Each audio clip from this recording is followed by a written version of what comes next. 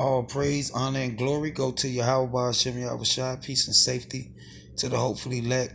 All the sincere.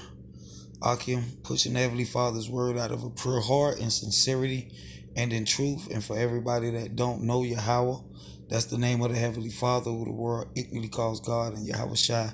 That's the name of the only begotten Son who the world ignorantly calls Jesus Christ. And what you're looking at on your screen is uh basically where this uh fire breathing dragon being Leviathan doctrine derived from. Um it says Leviathan is a mythical.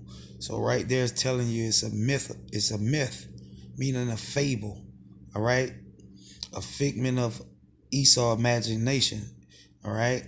It's not truth. It's not based on truth. But you have these zombies, these one West Hebrew Israelism, basically, which is a spinoff of Judaism.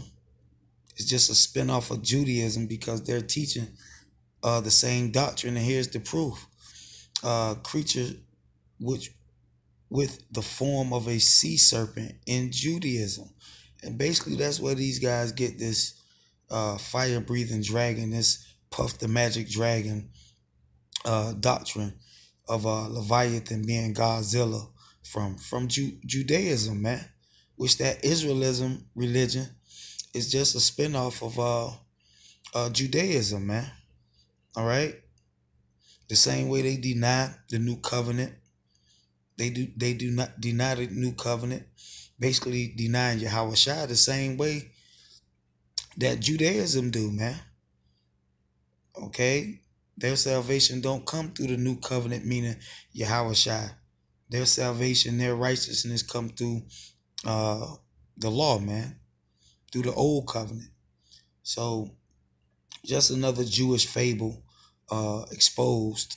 I'm exposing these uh Israelism cult uh leaders that teach this Godzilla, this mythical creature fire breathing dragon, Puff the Magic Dragon doctrine as being Leviathan.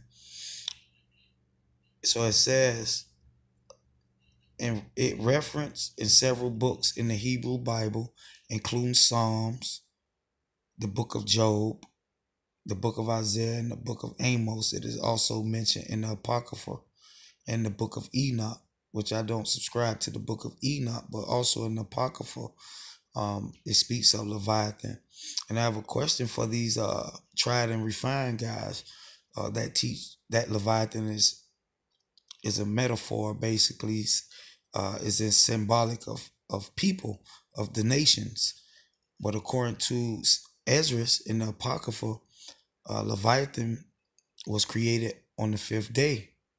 And we know in the creation, man was created on the sixth day. So I would like those guys to clear that up um, but back to this uh, wicked elder Tahar, uh, the one, the whole one West Hebrew Israelism cult uh, basically teach that Leviathan is a fire breathing dragon, a puff the magic dragon, and as you can see on your screen, that doctrine, that Jewish fable came from Ju- Judaism, man. All right, and uh, basically, uh, that's the point got the truth, man. You know? So you had to get it from the white man. This this truth that we got, we got it from the so-called white man. So-called you. So-called you. So-called you.